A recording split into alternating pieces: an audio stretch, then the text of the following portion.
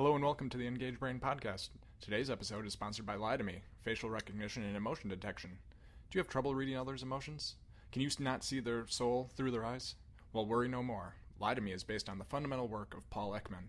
It recognizes facial expressions and emotions, and even tells you when the emotions are matching on their face to the emotions they're feeling in their body, with over 50% accuracy.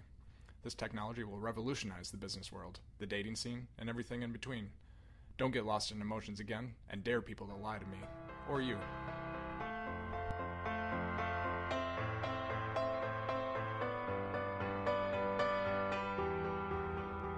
How many of your past memories are neutral, just boring old everyday memories? Probably not that many. Researchers have found a so-called emotional bump or boost to memories that help encode memories better than uh, better and aid in recall as well. Today I'll speak with Caroline Bach, who is studying how emotion and memory interact in the brain.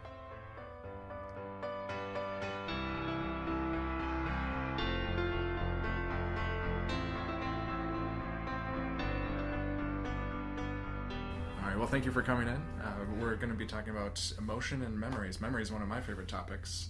Uh, so, why? Uh, what got you interested in uh, memory? I'm, oh, I'm sorry, I'm backing up. So, second podcast, making mistakes already. I'm here with Caroline Bach. We're talking about emotion and memory. Uh, so now going back to the question, uh, what got you interested in the topic? Um, I sort of found it interesting because I feel like as I'm getting older, I was sort of like reminiscing a lot, like especially this year and I was noticing. I mean, I always like tend to really like recall sort of emotional memories, like the mem like when I reminisce, it's always just like something that's had like an emotional thing to it, and um, I can almost like feel like I'm reliving like those memories, like they're just so vivid to me. And so then when we were thinking about topics, and I like Googled topics having to do with cognitive neuroscience, I was like, oh, like emotion, and then like under kind of that sub tab, it was like emotional memories, and I was like, ching. So it's kind of like maybe I can figure out why my brain is doing this. So that's my topic. Yeah. So what have you found interesting so far? Um. Well, kind of the big thing that I found, or um, that makes sense to me, um, is there are a lot of gender differences with it. Um so especially like um, women have been found to be better at remembering these emotional memories than men um, and then also the evaluation of these emotional experiences and the encoding of the memories themselves seem to be more tightly integrated in women than men so i guess it kind of like i was sitting here going like oh wow like this is why like i'm a girl so maybe like this is why it's like really happening to me. So that's kind of been the most interesting thing, I guess, because it's helping me kind of answer my question mm-hmm. originally. Yeah, and do you think that that goes to how women interact with each other versus men interact with each other, or, or why do you think there's this difference? I'm Not really sure about that, but I think it's kind of just sort of like I think it's important for us to like understand like men and women do go about things very differently because I think there's like a huge thing like women can do like everything just as well as men can and stuff like that and like to some extent like that's definitely true but then like we do have to like acknowledge that there are a lot of brain differences. So it's definitely like why men w- may act like a certain way towards something and why a woman may act something like a certain way. So it's not necessarily that women are crazy it's just sort of like brains are different so. Yeah, and do you think it's a per uh, the feeling the emotions themselves or like a perception of emotions? Because I'm thinking like uh, of differences where you and I share some event and you find it like really mm-hmm. important and I find it important, but I don't have like the same emotional attachment to it. So then when we come back to it later, you're like, oh, remember this thing, and I'm like, yeah. no, and you're like, well, yeah. why don't you? I think it's just like as I said, like the encoding and everything. It seems to be more tightly integrated in the women. So then when they're coming back and remembering something, I think yes, like their perception is probably just different because it's totally just been put into their brains differently. Yeah, so, so you're saying emotional encoding that's like that emotional bump or that emotional boost for yeah, for remembering. Yes.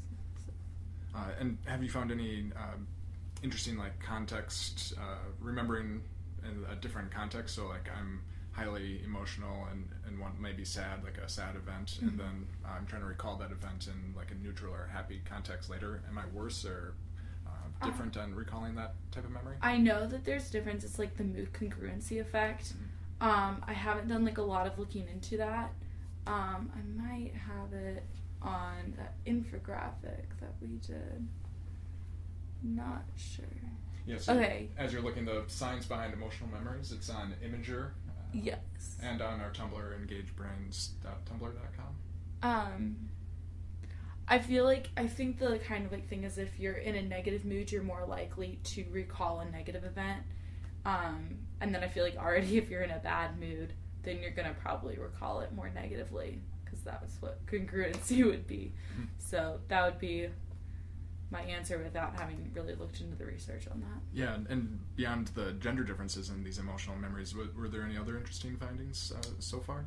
Um, kind of one of those is sort of going into the developing areas of research, and they've actually been like with this understanding of how we encode um, emotion and the memories. Um, there's been a lot of research looking into how kind of using the cognitive behavior therapy might help people um, who have depression or like PTSD, um, sort of disorders that emotion may influence the phases of the memory. So kind of getting them to put like a positive spin on kind of um, the recalling of their emotions. So that's of their memories. So that's sort of again like something that I would need to look more into to like really talk about. But that's I think that's interesting because it's really like taking this sort of like knowledge. People are like, oh, well, like that makes sense. Why do I care? And then kind of giving people a reason to care about it. So Yeah, did, did you see the movie Inside Out? I haven't. No, okay, I haven't. it's just a, a I need to see uh, it. yeah, a, random. But in in that movie, they um, at first the young girl uh, is forming these memories, and they're all either happy, like an entire Mhm. memory is either happy or uh, sad, and uh, the emotions like uh, emotion characters touch the memories and make Mhm. them sad or happy. And there's like a bunch of happy memories that sadness uh, touches. Uh, so like in the present moment, Okay. sadness touches it, and then it kind of colors the memory somewhat sad. So I think that's interesting to Yeah. see how you can take sad memories and then recall them in the present with a kind of different spin on them and, and Mhm. change them so they're not as sad or negative. Mhm. Easier said than done. yeah, it's- it's not like uh, it's shown in Inside Out, but uh, definitely something an interesting new uh, developing area of research. Uh, how about uh, in terms of confusing aspects of your topic for the public? Uh, is there anything that you found um, confusing that you could clear up? I don't know if I can totally clear it up yet. Just um, I'm still kind of in the preliminary stages of everything. Um, but I feel like kind of the most confusing thing is that a lot of my topic has to do with like, there's a lot of vocab behind it, um, and just, there's a lot of just science stuff. You know, it's not so it's. I mean, I'm sure like you know all the topics like you know have a lot of scientific vocab and stuff, but I feel like so much of it is like amygdala, like encoding, retrieval, and like nobody like knows what that means like outside of things. Whereas if you're saying like music, like in school, like that makes sense, but it's just sort of like I feel like this is kind of like a step up scientific that a lot of people I don't think would be super like gung ho hmm. into. Yeah, yeah. I think that's a but an important aspect of this research. I mean, emotion is something that we feel on the, all Mhm. the time. Memories are things that we deal with all the time. So how can we understand all these things, especially um, helping us uh, deal with you know, Mhm. potentially painful memories? Uh, how about uh, have, have you um received any public response to your uh, infographic? Uh, you, did you send it out on Facebook or anything like that? Um, I did post it on Facebook, and it's kind of sad. But as of um, yesterday at one, I think I had 24 views. Oh, But you know, I mean, I haven't like ever really posted anything out there, so I don't really know if that's like bad or good. But Yeah. probably should have like put it on Pinterest or something because Okay. those really like circulate. Mhm. But I don't know. I feel like people would have been like, oh, like emotion memory, like it doesn't have to do with sleep. So like, Yeah, so there might be some topics that are a little bit more interesting to Yeah. people, a little bit more catchy. Uh, how about uh, going forward? So you mentioned one area of developing research with the um, cognitive behavioral therapy.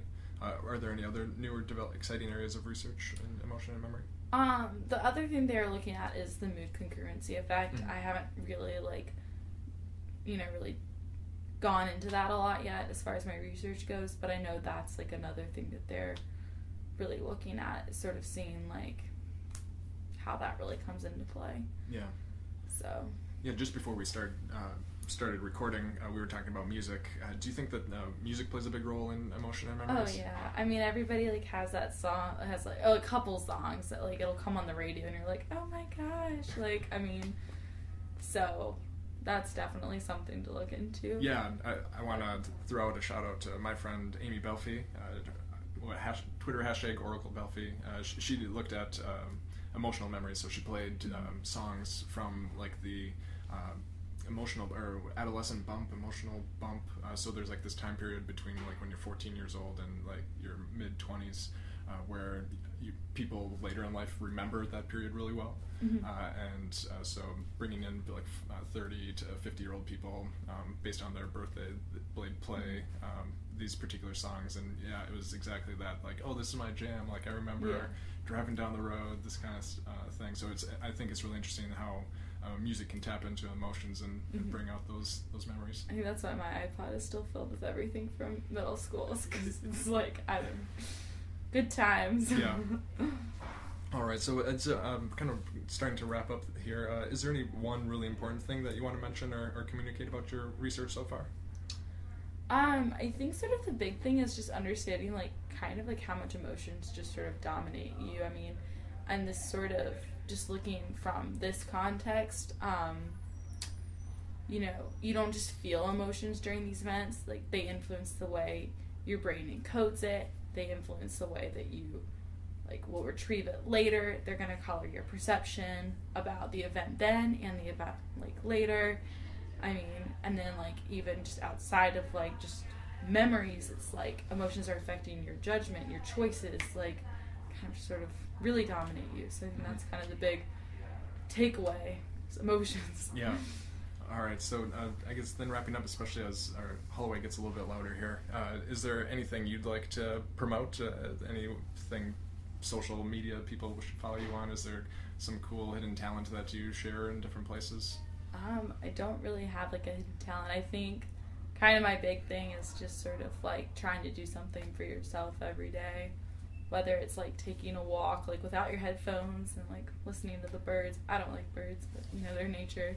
So just having like at least 10 minutes of you time. I think that's yeah. important. I, I like that. That's a good piece of advice and ties in with your topic in Yeah. terms of emotions. uh, and then any, uh, the last thing, uh, any uh, fad or product or something that you'd like to share with me or others that you think is cool or, or interesting that people should check out? I've got a couple that I think are weird, but Okay. uh, I mean, um, it's like a lot of people on my team have like Fitbits right now, and I, Mhm. like that's just sort of seems to be becoming like a culture, like this Fitbit culture. So I think those are kind of weird, but Yeah. tracking your steps. Yeah, I I think it'd be interesting to um, be able to put even more information into that. So Yeah. not only are you tracking like your movement and I don't know heart rate or whatever else Fitbit does, but like you could like tag it with uh, what you were doing um, or how you were Mhm. feeling that at that moment. I wonder if that would help with people's memories Yeah. uh, later. It's all that the smart watches and Mhm. stuff. I don't know. It's all confusing. Oh, interesting. so a, a little free advertising for Fit, Fitbit. Uh, but thank you for coming in. Uh, I really appreciate it.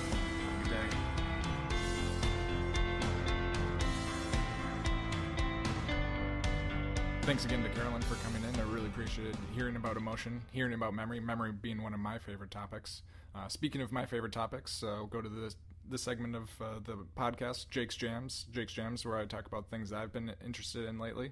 Uh, and uh, since Caroline is someone that I'm pursuing research with, I'll have to uh, give a shout out to a research tool, Mendeley.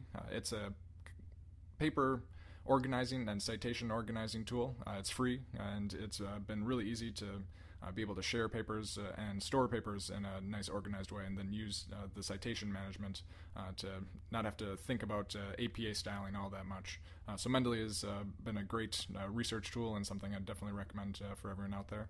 Uh, again, turning to the mailbag, that's obviously empty since uh, uh, I'm recording all of these episodes uh, so t- close together. Uh, but in the future, uh, if you have any questions, uh, just tweet me at EngageBrain on Twitter or uh, let me know through email. Uh, it's my last name at gmail.com. Uh, if you have a very detailed or intricate question that can't fit in those 140 character limits, uh, at least as long as those character limits uh, exist in Twitter for the time being. Uh, so let me know if you have any questions. I'll be excited to start answering questions later. And with that, I'll sign off and talk to you next time.